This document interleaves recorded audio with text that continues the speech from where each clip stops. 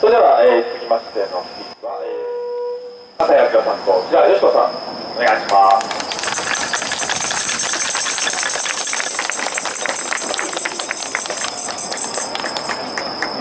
皆さんこんばんは。日本共産党参議院議員の木田よしこですえっと先週小渕経産大臣が鹿児島県知事宛てにこの再稼働に向けた政府の方針についてというものを出しました。これを受けて伊藤知事は政府が原発の安全性について責任持ってくれたって喜んでるそうですが違いますよね。第一安全安全って安全性が確保ってこの方針の中で4回も出てくるんですけれども私は規制庁から聞きました。私たちが言う安全というのはゼロリスことではありませんと。つまり危険ってことじゃないですか？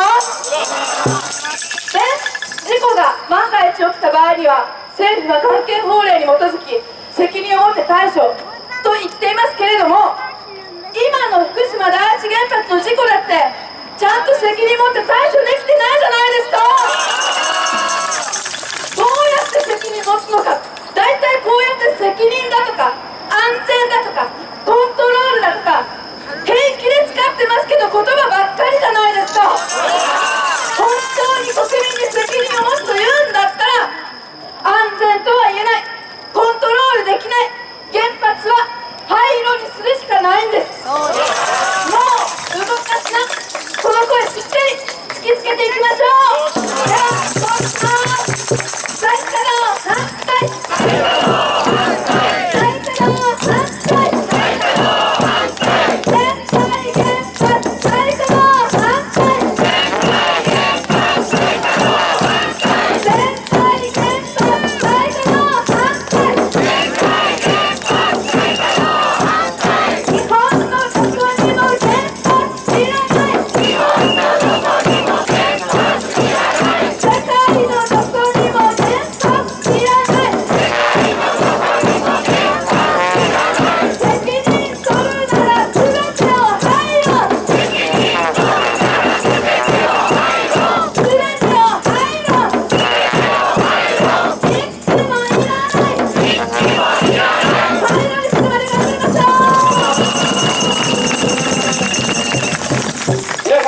日本共産党衆議院議員笠井亮です。今晩の118回目に間に合うように昨晩深夜韓国から帰ってまいりました。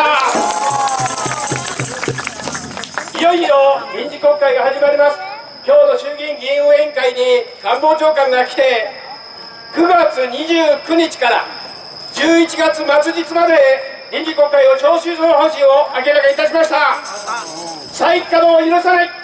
大事な部隊が国会でまた行い開かれます。皆さんその中で今日安倍首相は内外情勢調査会というところで講演をして原発再稼働の問題に触れました。科学的技術的に世界で最も厳しい基準の原子力規制委員会の審査を尊重し再稼働を進めていくなんて言ったんです。とんでもないと思います。けるなと言いたい。だって皆さん世界で最も厳しい誰がそんなこと信じますか？専門家もそして1万8000件のパブリックコメントでも多くの方々が世界一どころか世界一ずさんなそんな基準だというそういう思いをぶつけてるじゃないですか。しかも安倍さんは今週福島にまた行きましたが行って何を見て聞いてきたのか汚染水は漏れっぱなし出っぱなし。そして避難者の皆さん3年半本当に大変な暮らししてるのに東電は切り捨て国も切り捨てこんなこと許せないじゃないですか。そんなことで平気で改革再稼働絶対にやっちゃいけないと思います。気候変動そして地球温暖化対策先ほどお話しありました。この対策をしっかりやるためにも再稼働しちゃ絶対ダメです。原発はなくさないとダメです。みんなで原発の決断迫る。国会でも頑張ります。共に声を上げて頑張ろうじゃありませんか。再稼働